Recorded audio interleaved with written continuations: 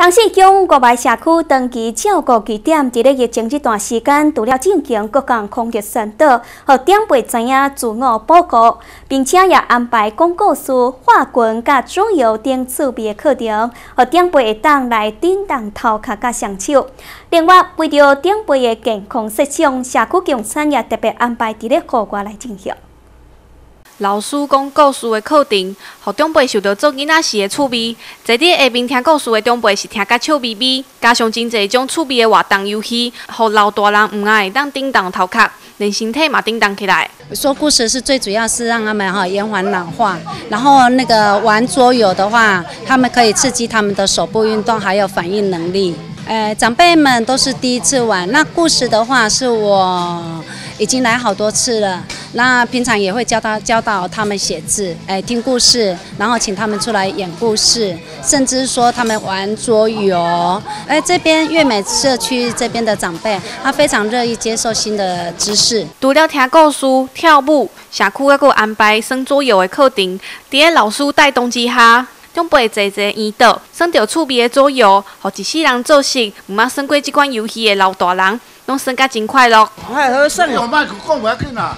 好耍啦，在咧耍嘿，耍个夹刀、手、棍头，嗯，夹刀纸。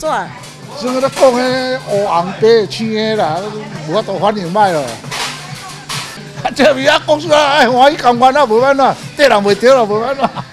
伫课程结束了后，营养师甲厨师嘛煮了真好食的中豆饭，除了好食嘛，佫会着营养。真侪老大人拢一喙接一喙，而且防疫期间，为着社区的长辈健康设想，嘛特别安排伫外口空气流通的所在来用餐。我们在社区呢，除了做社区的营养教育之外，我们也会针对厨师在厨房的安全与卫生上做详细的辅导。